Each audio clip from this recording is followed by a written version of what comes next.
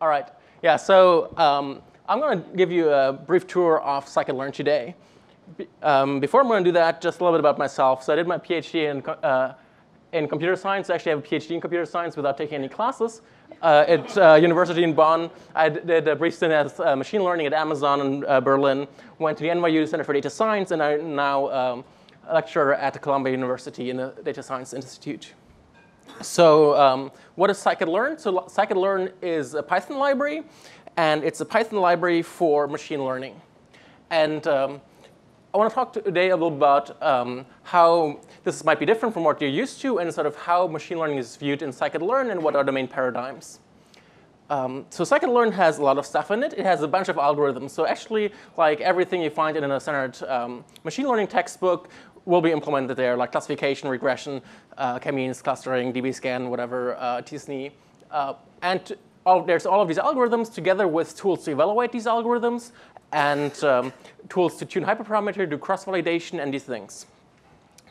Um, it's been pretty successful. Like here's some logos of companies that worked with it. Um, but actually, I think most companies now that do machine learning somewhere use it in some place. So it's heavily used in industry and also um, like a bunch in research. So we nearly have 10,000 research, uh, 10,000 uh, citations on the paper, which would really makes me want to be on that paper, which I'm not.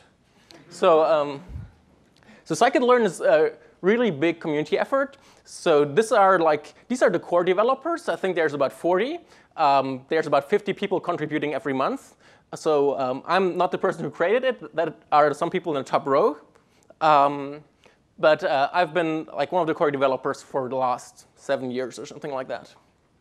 Um, so what we're really proud of with scikit-learn is in particular our documentation, which uh, you should definitely check out. Some people said, oh, you don't need to read a machine learning book, you can uh, just read the documentation. I don't entirely agree with this, but I think uh, we did a pretty good job. In particular, we have like a whole bunch of examples, so you can go through and look at the gallery and see how everything works. And I think that's uh, pretty good.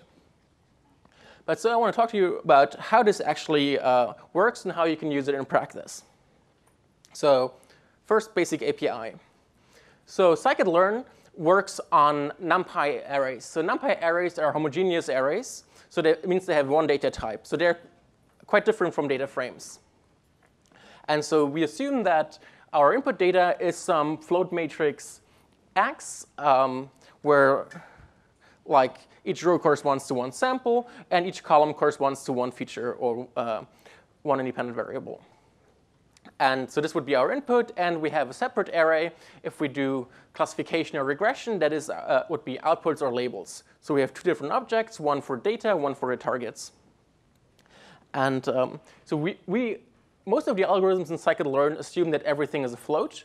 So by default, none of these work with categorical data or uh, missing values, this is something you have to take care of yourself. I'm going to talk a little bit more about this later. But this is sort of the basic paradigm, we always call the data X and the labels Y. All right, so here's how I think about machine learning uh, pipeline, particularly supervised machine learning, which is sort of the most common used form. So you start with this training data and your training labels, and you build a model which could be like linear regression, random forest, gradient boosting, whatever. And uh, you have some new data for which you don't have labels, usually um, for which you can want to make predictions. Often you want to evaluate how good your model is, so actually you have holdout test data with test labels, which allows you to say, okay, my uh, model generalizes uh, this, this well. So for me, machine learning means that I'm mostly interested in how well my model generalizes. I'm uh, like, I know here people maybe have more statistics background where you're more interested in understanding the model. Uh, scikit-learn is really tuned towards making predictions and making accurate predictions. So um, I don't think there's, none of the values have, uh, uh, none of the models have any p-values associated with them in scikit-learn. So if you're looking for that, this is not the right thing. If you want to make accurate predictions, uh, then scikit-learn will be helpful. All right, so this is sort of the standard workflow in supervised machine learning. And this is um, there's basically two phases. You train a model with your trained data, and then you want to generalize to new data. And this is uh, mirrored very directly in the scikit-learn API. So all the algorithms in scikit-learn are implemented as Python classes. So let's say I want a random forest classifier. There's a Python class that's called uh, random forest classifier to train random forests for classification. These objects um, contain both the algorithms, or encapsulate the algorithms, for building the models and for making predictions. They will also store all the model parameters. So here, for example, in the random forest classifier, um, if I call fit, fit will build the model, and this will store all the trees, all the splits of the trees, and so on in this CLF object. Uh, all uh, models in scikit-learn have a fit function, and it always looks exactly the same way. It always gets the training data, which I call xtrain, and if it's a supervised algorithm like here, it gets also the desired outputs, uh, ytrain. So this fit function uh, stores the model in, CL, uh, in CLF. So this is sort of all you have to do to build a random forest. If you want to apply this to new data, there's clf.predict, which uh, you input only uh, any new data that you have, or you could also do the training data, and it will return the predictions according to the model. There's also a score function, which is basically just a helper function that does both the prediction and then evaluates against some known ground truths. So clf.score makes predictions on x test according to the model, and then you compare it to y test, and then it reports accuracy. So this is sort of the most common interface for scikit-learn, and like all the models for classification and regression will follow exactly this interface, and you mostly need to think about uh, fit and predict. These are sort of the core methods. There's another interface in scikit-learn that's also very important, um, in particular in unsupervised learning and in preprocessing. So this is for unsupervised learning and or preprocessing, where someone gives you uh, a training data set, and say you want to do PCA. So you have your training data. There's no labels or ground truths or something like this. You just have your matrix X, and you build a model from this. Then, when um, you, you, get some new data or you have your test data, you want to apply this model, and this model will give you a new view of your data. So uh, let's say a projection onto the principal components or something like that. This is sort of um, a slightly uh, different task and has a slightly different interface. So the way this works in scikit-learn is, again, everything is encapsulated as an object. So if I have PCA, I want to do PCA, I instantiate a PCA object. I call fit, again, all things in scikit-learn have a fit method. And so here I just give it the training data x um, because it's an unsupervised method. And then if I want to um, actually project to the principal components, I use the transform method on any data. This will give me my new view, my new representation of the data x new. So um, these are basically the, the three main functions you need to understand for scikit-learn. Is so we call our models estimators. So estimators could be anything, um, like random forest or scaling your data or something like this all have a fit uh, method. They always take the data x. If it's a supervised method, it also takes uh, some target output y. If you predict something that is like a labeling, so for classification, regression, and clustering, you use the predict method to uh, make this prediction. And if you want to get a new view of the data, a new representation, a new x, you use the transform method which is uh, used for preprocessing, dimensionality reduction, uh, feature selection, and feature extraction. So these are sort of the two main building blocks are things to transform your data and things to make predictions. But we also have more building blocks for sort of standard machine learning tasks, particularly for model evaluation and selection. So um, there's tools to do uh, train test split, which is like very simple. I'm not actually going to talk about this, but often instead of doing a uh, train test split, you want to use cross-validation. Um, I think you're all familiar with cross-validation, so maybe I can skip this, where you split your data, say, in five folds, and um, you hold out one fold and train on the other ones. And this gives you a more robust estimate of the generalization performance of your model. If you want to do that, um, there's a method called uh, cross-val score in scikit-learn. And um, cross-val score, sorry, not method, of function, um, cross-val score gets uh, an object, data, and labels, and you tell it how much cross-validation you want to do. By default, it does uh, threefold stratified cross-validation. Here I say I want to do five-fold uh, stratified cross-validation. And so um, this will return the uh, scores on the test set or on the holdout set for each of the iterations. So here I get five scores um, for the five splits of the data. And then I can compute the mean and standard deviation or something like that.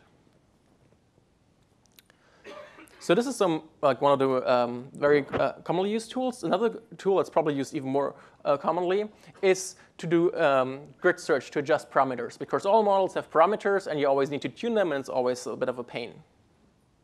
And so the workflow that I usually encourage people to use um, might not be the one that you use, but the one that I favor is you take your data, you do a training and a test split, uh, then you do cross-validation on a training data set to tune parameters, and then you do a final evaluation on your test data.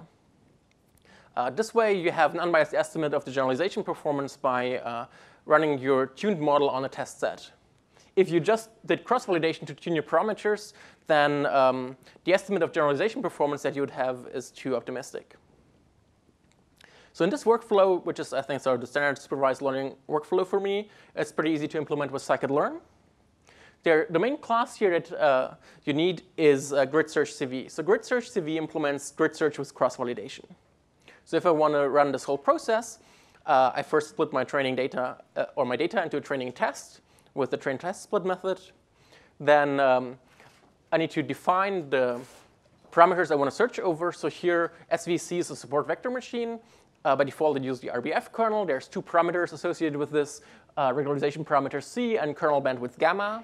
And so now I specify a grid, what values of uh, C and gamma do I want to try out. And um, so here, I basically give an exponential range from like uh, 10 to the minus 3 till 10 to the 2 and for both C and gamma. So this defines my search space that I want to adjust the parameters over.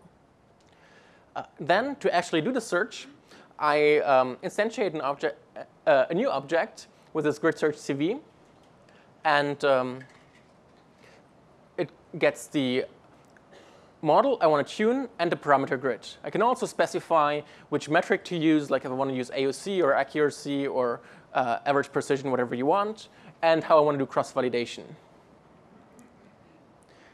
The cool thing here is that this grid search CV object returns this grid object, and this grid object just behaves like all the other models. So this thing that does uh, grid search for us still has like fit predict score with exactly the same interface as uh, everything else. Only if you call fit now, what it will do is it will run cross-validation, find the best parameter models according to cross-validation score, according to the metric I give it, and then uh, use this best model and retrain this model on the whole training set. So after I did this uh, grid search, it retrains the model with the best parameters, and so this allows me then to make predictions. So here you see again, this is very geared towards making predictions. It's very easy to search parameters and then make predictions with this model on new data. So this is sort of uh, pretty convenient, um, I think. So one thing I mentioned is that scikit-learn doesn't really automatically do any pre-processing. And so one of the reasons to do this is because you want really have control over what is happening. Like, how do you want to encode your variables? How do you want to um, impute data and so on?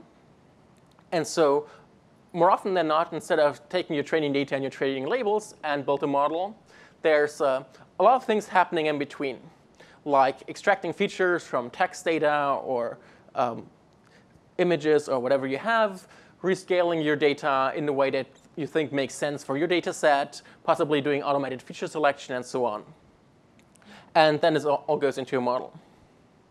A very common mistake that people then make is, OK, then I'm going to do cross-validation on the model, tune the parameters of the model, and uh, this gives, tells me how good my model will be.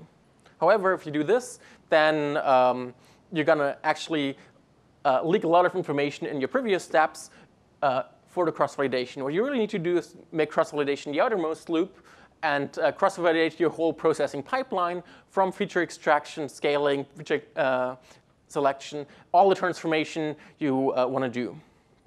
and then do cross-validation over this, select the best model, select the best parameters, and then re rebuild your model. To make this very simple, uh, scikit-learn has a thing called pipelines. So pipelines are a way to um, chain together transformations. I call them here T1 and T2. Think about like imputation and uh, PCA or scaling and uh, PCA or whatever you want, and the classifier. And so similar to cross-validation, uh, to grid search CV, making a pipeline returns a new object that is, again, an estimator, has, again, exactly the same interface as any of the other models. So this pipe object just looks like a model again. Only now it's a chain of, let's say, two transformations and a classifier. So, and then if I call uh, fit on this model, it'll uh, fit the first transformation, uh, transform using the first transformation, fit the second transformation, transform using the second transformation, then pass the transform data onto the classifier. If I make prediction, um, prediction on new data, it'll do exactly the same transformations. It will not refit the transformations, but it'll just transform the data um, and make sure basically the test data gets exactly the same treatment as the training data. Encapsulating your whole processing pipeline like this makes it much more um, unlikely that you're leaking information or that you're doing, leaking information from your test set or that um, you're doing different steps on training and test set because you have encapsulated everything in a coherent unit. Another cool thing about using pipelines is, well, it saves code. And um, also, now you can do cross-validation the way you would want to do it. So for example, if I want to scale my data, so the SVM in scikit-learn does no scaling. I think by default in uh, R, the libsvm wrapper does like zero mean unit variance. Um, in scikit-learn, sort of, uh, it doesn't do that, so you have to do it yourself. And or you could say, well, it allows me to choose uh, more precisely how I want to uh, preprocess my data. OK, so I can make this pipeline. Here, this uh, would be scale the data and then fit the SVM. So if I want to do grid search over this, I can just um, uh, use this pipeline inside um, the grid search CV. The only thing I need to adjust is I need to tell grid search CV, which does the parameter search, which steps inside the pipeline I need to uh, want to tune the parameter on. And so here I, there's this uh, notation with a double underscore, which basically says on the step that's called SVC, tune the parameter C. On the step that's called uh, SVC, tune the parameter gamma. And so this allows you to uh, do grid search and cross-validation over these complex pipelines. And uh, the cool thing about this is that you can not only say do scaling and then uh, grid search the um, parameters of the model, but uh, you can grid search parameters of everything jointly. Usually preprocessing methods like feature selection also have um, parameters. So for example, here I do feature selection, uh, asking if I should use one, two, three, or four features. And so I can select over how many features should I, uh, should I select and the parameters C and gamma of the support vector machine together in this pipeline. So it says, uh, here I have this pipeline, select k-best select the k-best feature according um, to p-values, the support vector machine, and now grid search the best value for k and select k-best, and uh, the best value for c and gamma in the support vector machine. And so uh, this allows me to uh, search all these things jointly, and they're all um, encapsulated in this single grid object. All right, I think that's all I had today. So I know that was really fast, but I got 20 minutes, and so now you have all of scikit-learn, nearly. Um, yeah, I have this book which you already saw, and you can follow me on Twitter or something like that.